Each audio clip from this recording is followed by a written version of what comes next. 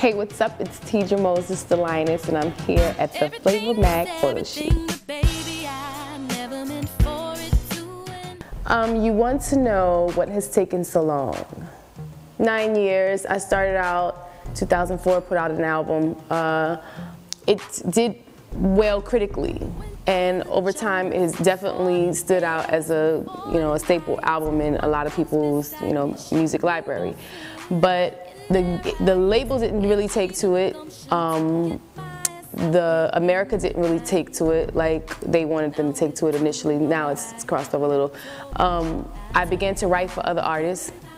I got really busy writing for other artists and I started to focus on writing for other artists because the money started to come in. Then I started to think about, oh, I want to do my own album. By that time, TVT, the label I was with, went bankrupt. Um, after TVT went bankrupt around 2009, somewhere around that time, um, I kind of just fell back and started to realize that people wanted me to do shows. So I started doing shows. Doing shows, not really concentrating on doing an album. Finally, when I got around to saying, oh, I want to do an album, uh, there was no label, there was, you know, I had, it'd been a while since I put out an album, so the business side of things kind of just got mixed up. And my attention span really wasn't on it at a certain point. Now I'm back focused on myself. When you write for others, you shave a lot of yourself off, you know, and now I'm back focused on myself. Hi, I'm Darren Scott. I'm a makeup artist and hairstylist. I'm on set with Flavour Mag, and today we've just shot with Teedra Moses.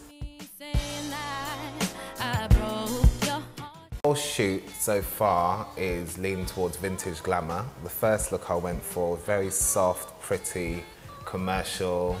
Um, she's wearing quite muted tones, so I just wanted to keep everything quite natural. Um, the second look, we kept it still quite natural, but added a pop of colour and went for really bright red lips. Um, there's no official signing to Maybach Music. It's an affiliation. It's affiliation. You'll hear me on their records. You know, it's no official signing. Um, it came about because Rick Ross, he lives in Miami as well. I lived in, I had been living there maybe about a year, maybe uh, six, seven months when he contacted me. He followed me on on um, on Twitter and he hit me on DM and he was like, "Hey, holla at me. I want to." You know, check out your music or whatever. I'm a fan or something like that. So it was cool because I, I, Rick Ross was an album that I listened to right before I was moving to Miami a lot. And I was going through some different things and, you know, so it was really cool. And um, went over to his house. Meek was there, Wale was there, and he was just trying to build this empire. And I just was like really um, impressed with the energy he had at that moment of like just building something. So I just, you know, got down with them because I thought it was was cool, and they were all about hard work and good music and trying to make some money. And that's all. That's what I'm about. right now, we're releasing an EP in May, and we're releasing that straight um, independent and with. Uh, you know, digital and distribution or whatever. But um, I'm speaking with another label at the moment that I want to release my actual album with, um, hopefully in September. The album is called The Lioness, Lover, Believer, Dreamer, Thinker. And um, it is basically those things I just spoke of. No person is one-dimensional or you're just really not interesting. You know, most people are more than one dimension, and you know, I try to deal with all those different dimensions on the album.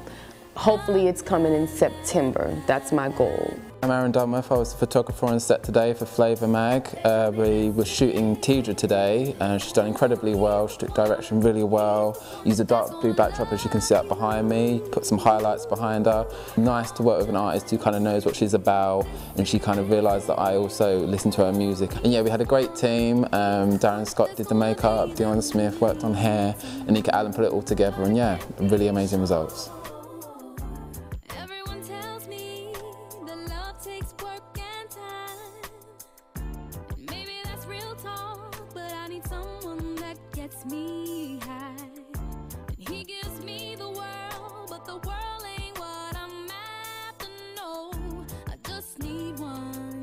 Hey, it's Teedra Moses the Lioness, and I am trying out this new songwriter app. It's called Songwriter's Pad, and I'm gonna start now. Let's see. Okay, first thing I need to do is pick an idea. Pick a word. I think I'm gonna go with desire. And let's see, I'm gonna try cravings. Add to the word section. Okay, let's try another one. I'm gonna try fear and ooh, I don't want fear. I'm gonna go away from fear, that doesn't sound cool. Let's try hope and wished for.